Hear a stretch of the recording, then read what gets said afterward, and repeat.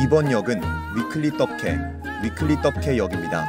내리실 문은 없습니다. 한 번 빠지면 출구란 없는 2022 weekly 떡해 4주차로 돌아왔습니다. 먼저 5라운드 서울시청과 화천 KSPO의 경기입니다. 전반 29분 조다솜 잘 밀었고 문은주 잘 때렸고 그 경기 네 골 문은주 그야말로 미쳐 날뛰고 있습니다. 화천의 1대0 리드 후반전 화천 추가골 노려보는데요. 이정은 기가 막힌 로빙 패스 이 헤더를 류지수가 막습니다. 마누엘 노이어였어요 방금. 서울시청 이대로 3연패는 안 되죠. 가야 돼 가야 돼. 후반 60분 한채린의 크로스 김소희 침투하면서 그대로 득점. 이제 경기는 원점으로. 서울도 역전골 노려야죠. 김소희 슈팅 골대를 때리고 후반전 추가 시간엔 와 이게 안 들어가네. 이렇게 추가골 없이 경기는 1대1 무승부로 끝났습니다. 금호섭 캐스터가 뽑은 이번 경기 포인트는 득점 장면 말고도 아쉬운 기회들이 연속으로 나왔다는 거죠. 하나만 더 들어갔다면 이라는 생각 양 팀 모두 들었을 것 같은데요. 보는 제가 다 아까웠거든요. 까비 또 까비 이번 경기는 인천 현대제철과 보은상무의 경기입니다. 이 경기 내가 이 팀의 넘버원 골키퍼다를 보여줬던 경기였는데요. 베테랑 골키퍼와 무서운 2년차 골키퍼의 맞대결 확인해 보시죠. 우선 두 번째 시즌을 보내고 있는 2년차 골키퍼 하지희가 언니 김정미 골키퍼에게 선전포고를 했습니다. 강채림 선수가 골문을 두드려 봤지만 하지희 골키퍼에게 막혔습니다. 언니, 저 하지희인데요. 이번엔 이민아 선수가 두드려 봤습니다. 채림아, 이번엔 내가 해볼게. 네? 미나 언니 득점하신다고요? 저 하지이라니까요. 이후 강채림의 슈팅까지 또 막아냅니다. 2년차는 어려움을 겪는다는데 하지이 선수는 2년차 징크스가 없나 봅니다. 가만히 있던 김정미 골키퍼가 묵직한 메시지를 보냅니다. 지희야, 골키퍼는 분위기를 바꿀 수 있는 사람이야. 19년차 베테랑 골키퍼 김정미 선수가 박현아의 슈팅을 환상적인 움직임으로 막아냈습니다. 내가 아직까지 이 자리에 있는 이유를 알겠니? 결국 이 분위기는 인천에게 넘어왔습니다. 후반 70분 이세은 선수의 깔끔한 득점과 함께 후반 74분 정설빈의 벼락 같은 득점이 나오면서 인천현대 제철이 2대0 승리를 가져갔습니다. 안동희 캐스터의 오늘의 관전 포인트는 골키퍼도 경기 결과를 바꿀 수 있다였습니다. 앞으로도 김정미 골키퍼와 하지희 골키퍼의 활약을 지켜봐 주세요. 경주한수원과 세종스포츠토토의 5라운드 경기 결과는 3대2 경주한 수원의 승리였습니다. 경기를 중계하면서 사실 가장 크게 마음을 졸였던 부분은 아무래도 선수들의 부상이 염려가 되는 장면들이었습니다.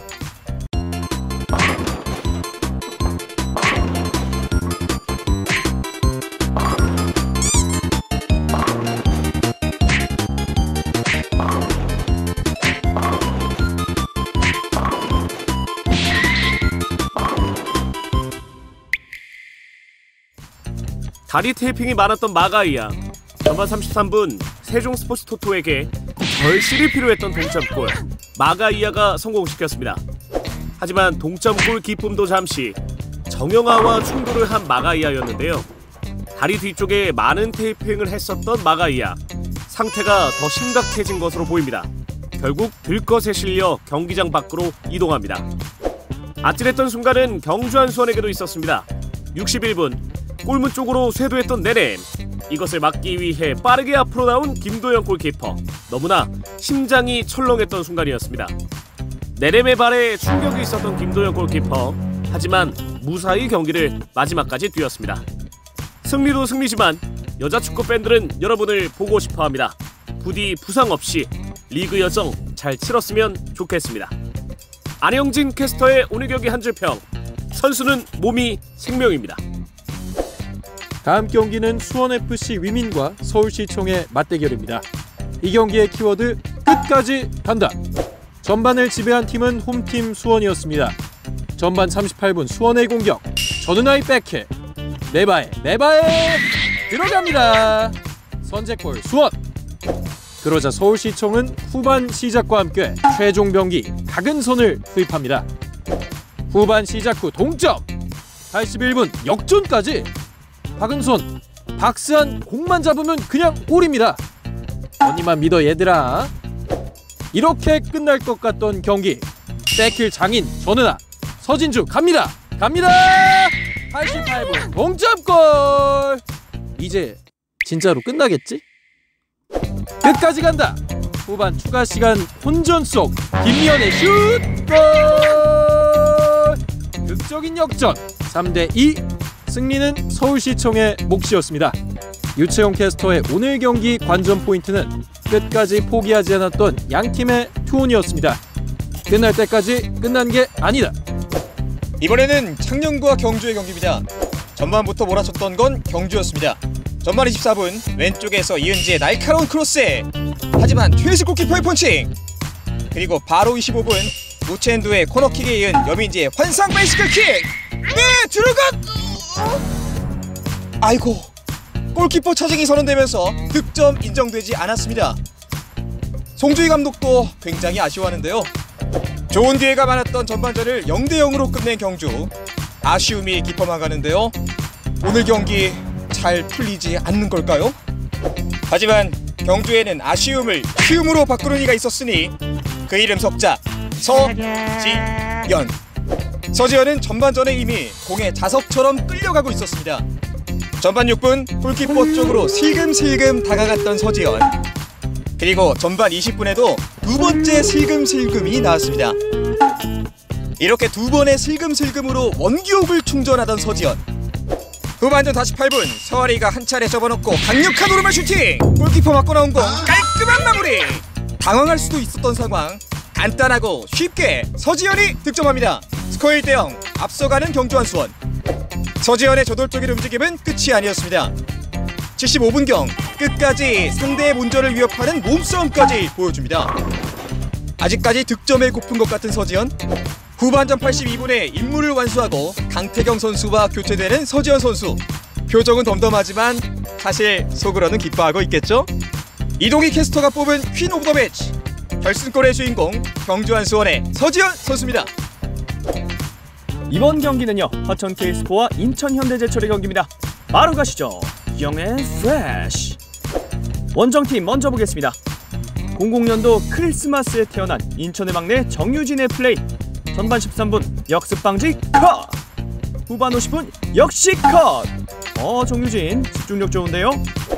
99년도 11월생 윤혜인도 좋더라고요. 전반 20분 오 nice 탈압박.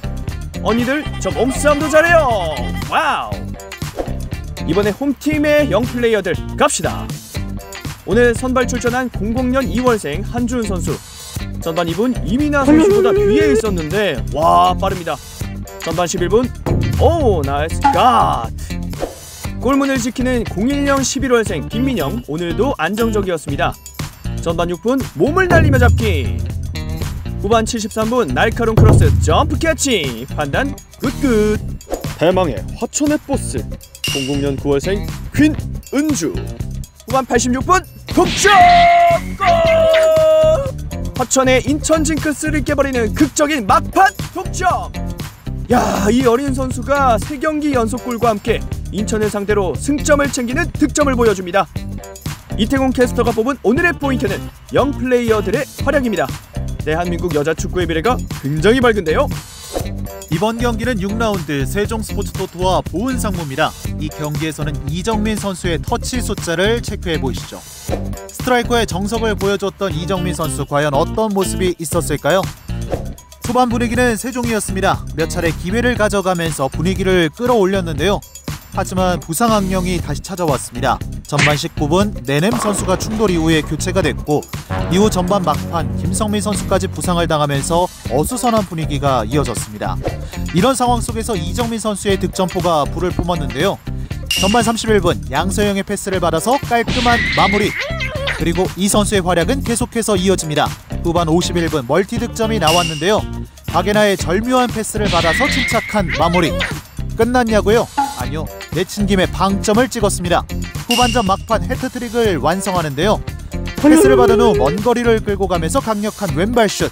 결국 해트트릭을 완성하면서 팀의 승리를 안겼습니다. 세종은 부상에 또 한 번 발목을 잡혔고 보은은 긍정적인 결과를 많이 가져갔습니다. 안동희 캐스터의 오늘의 한 줄 평 득점에는 많은 터치가 필요하지 않다였습니다. 단 9번의 터치로 해트트릭을 완성한 이정민 선수 앞으로도 좋은 활약을 기대하겠습니다.